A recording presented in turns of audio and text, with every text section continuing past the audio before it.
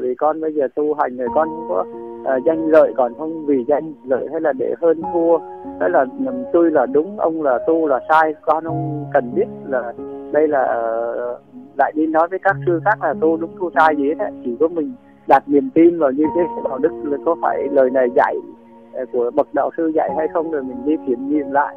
Uh, con đi tu hành như thế này cũng không có lôi kéo cũng không có uh, đề tử cũng không có xua đuổi ai cả ai hưởng con á, thì con uh, chia sẻ nó với họ như thế. Còn mà nghe nói những cái chuyện mà ở công ty hay là lập mà kiểu anh Tuấn mà phát tâm mà có cái công ty thiên định tuệ gì đấy là à, công ty đó mà làm không vì danh vì lợi hay vì du lịch hay là cái gì thì giúp đỡ cho con những người tu tới thì con ở thanh tịnh thì tới còn bất tịnh hay là liên quan đến danh lợi tổ chức đảng phái hay tổ chức thì con không có đồng ý không có hoan nghênh họ có làm ra thì việc của họ.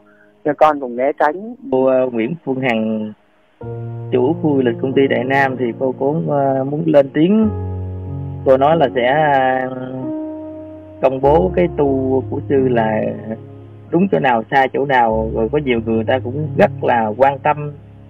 Rất có nhiều người họ cũng săn si. Rồi có nhiều người thế thế nọ thế kia thì uh, con cũng muốn hỏi sư cái sự việc đó. Cái nhân viên gì và xin sư có vài lời để uh, khuyên mọi người hiểu đúng về cái Phật pháp á vâng uh, nam mô a di đà phật. Cái việc mà uh, tu của con á thì mọi người á là uh, ai nấy uh, đúng cũng được sai cũng được con không có tại vì tu được á là tốt đẹp cho con.